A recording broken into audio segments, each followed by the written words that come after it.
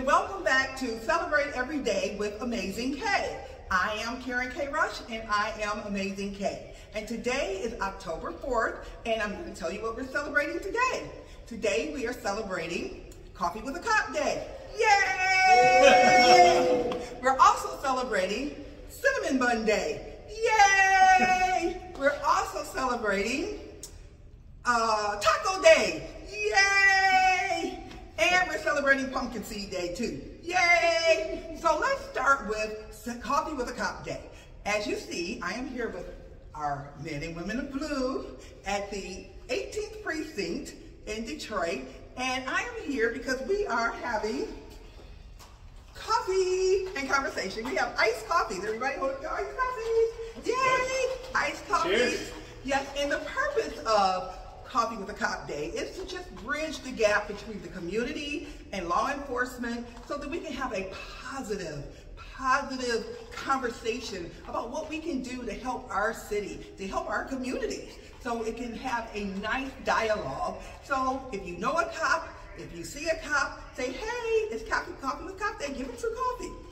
Say hi, tell them thank you for the work that they're doing because they are doing really great work protecting our country, our cities, our communities. And I just would like to ask Lieutenant Dula here, what is it that you would like to tell the people out there in our that's listening? What is it that the community community can do specifically to help do their part in making our community safe along with the police department?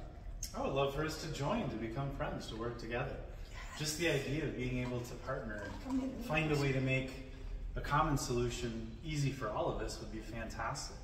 Mostly, I'd like to give you a hug and say thanks. Aww. This was really nice. Thanks for bringing in the coffee and the tacos and the and the cinnamon rolls. Well, this is thank really fun. you. Put yes. a big smile on our faces. Well, that's important. We want you to have a big smile on your faces because that's going to help us to have a better community. When we have happy cops, we have happy community. That's what I think, right?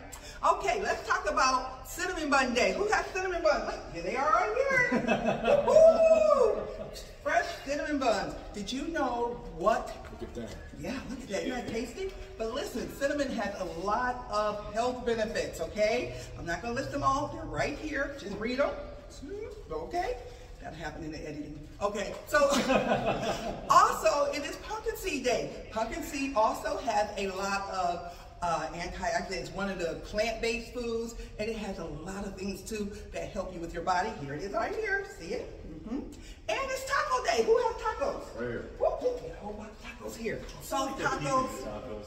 Yes.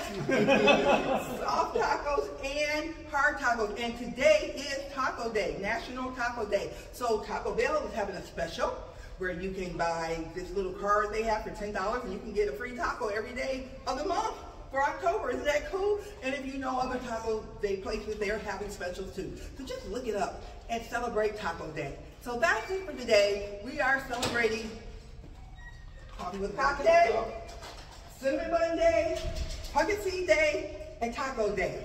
And don't forget, be bold, be blessed, be you. And when I say you, I mean your original uniqueness because you're all unique and you all have something to bring to the table. Thank you. Have a great day. See you next time. Bye-bye. Bye.